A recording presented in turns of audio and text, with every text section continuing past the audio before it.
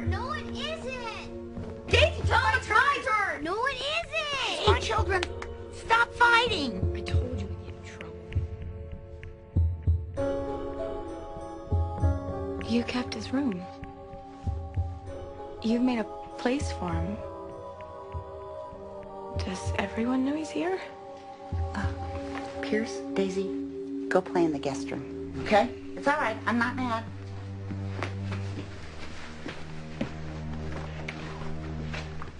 Who are you? And what do you want really?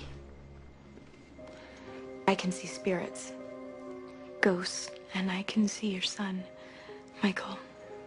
You can see my son. Yes. Guessing that's not a shock to you. Michael loves his home and his family.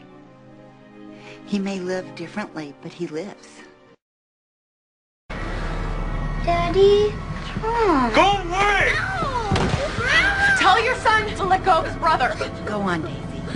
If Michael says you should leave, you should leave. I don't want her to leave! She'll just come back again! What are you talking about, honey?